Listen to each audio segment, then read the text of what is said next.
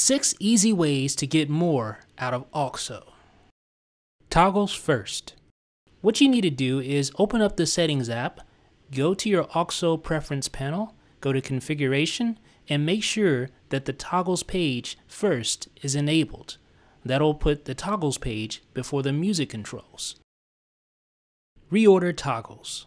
Under the configuration page, you should see visible toggles.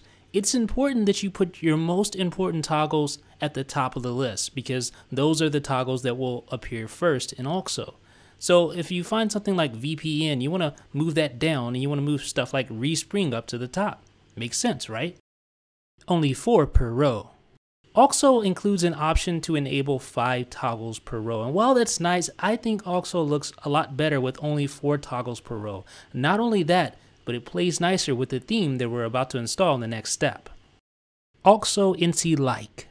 Auxo is an absolutely beautiful tweak, but if there is one little flaw that I have to point out, it is with the toggles, the way they look.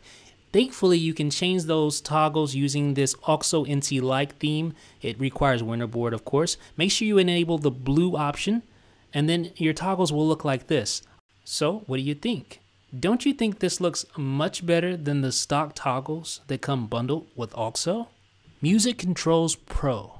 Music Controls Pro is an excellent jailbreak tweak that allows you to enable music controls on the space above the app switcher when you invoke the app switcher sort of like this. I'm going to show you right now. Slide up, and there's Music Controls Pro. Now, why is this handy? Well, it's because, remember, we reversed the position of the toggles and the music controls, so now you can just use these music controls instead of the ones we push to the back of the app switcher.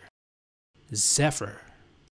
Zephyr and Auxo were simply made for each other. Zephyr allows you to invoke the app switcher using multi-touch gestures, and Auxo, of course, allows you to use gestures to remove apps from the app switcher. They go hand in hand. It's like they were just, they complete each other. And I think if you're going to take one piece of advice from this video, it is to install Zephyr along with Auxo for the perfect combination of jailbreak tweaks. So let me know what you guys think about my tips for getting more out of Auxo. I'm sure you have your very own suggestions. Let me know what you guys think in the comment section below.